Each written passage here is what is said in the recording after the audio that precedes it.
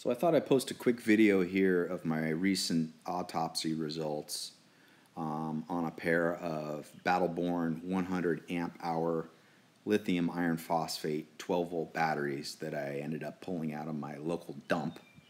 Interestingly enough, uh, the day I found these was the same day that a potential major design flaw was brought to light about these particular batteries. And so I thought I'd go ahead and open them up and see if I could find those issues and see if there were any parts I could harvest uh, from them.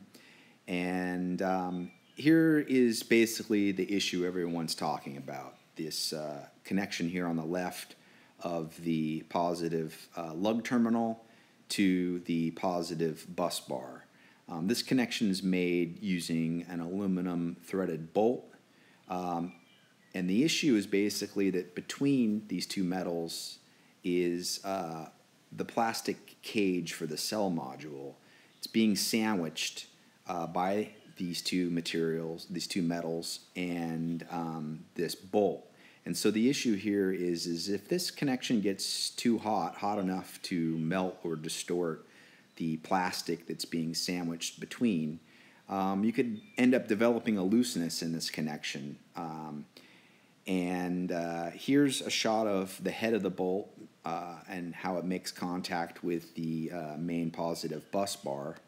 Um, and uh, I thought I'd go ahead and take things a little bit further and investigate this connection. And actually ended up discovering that the hole is, you know, considerably oversized for the, for this bolt. And so keep in mind, none of these threads are making a connection. It's really only the head and um, and to make matters worse, uh, it's not the entire head of the bolt. It's just this raised flat that you can see underneath the head. So this is really you know the amount of surface area that is being tasked to carry you know the max continuous uh, load uh, these batteries and um, on top of that the use of aluminum is, is kind of strange yes the aluminum cools quickly but it also has the potential to heat up very quickly, which could cause the problem. It's it's an interesting choice of materials. Um, anyways, here is uh, the measurements of the inner diameter of that uh, raised flange that's that's making contact,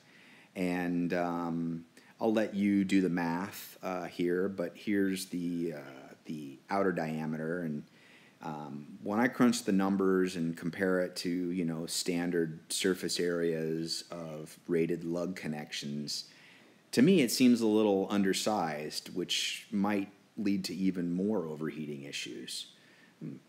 Anyways, here's another issue I, I didn't really like.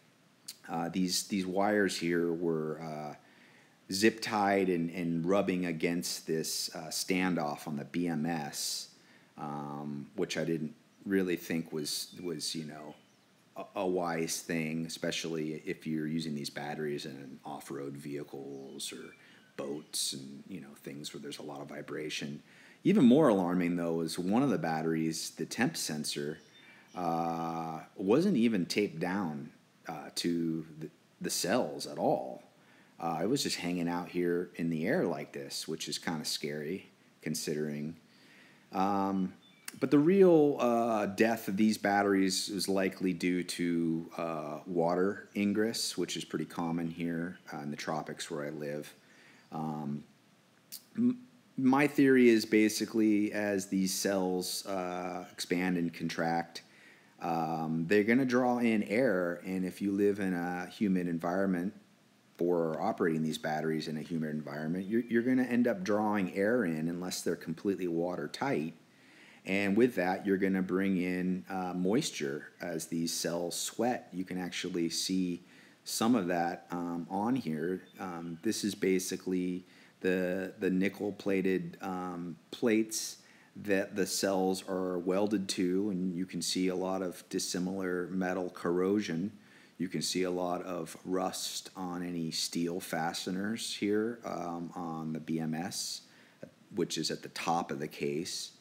Um, one thing I do like, and I have to applaud about these BMSs, is they are the first BMS that I've seen in a battery that um, is got some potting on it. Um, main um, power connection wires here are potted on the backside of the printed circuit board, and some of the uh, major components have potting around them. So I definitely applaud that. I'd love to see more manufacturers do that.